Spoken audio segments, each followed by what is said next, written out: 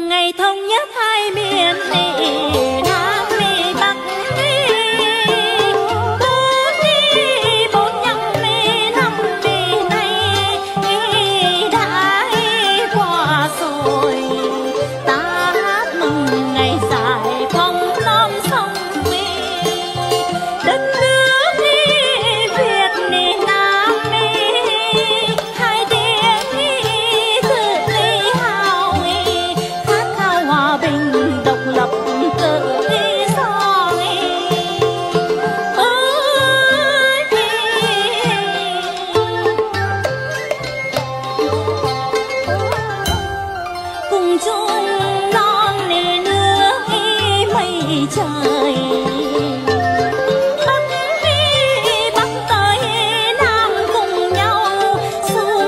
họp vui bên kế đoàn phát triển kinh tế vững bền chủ quyền độc lập tự do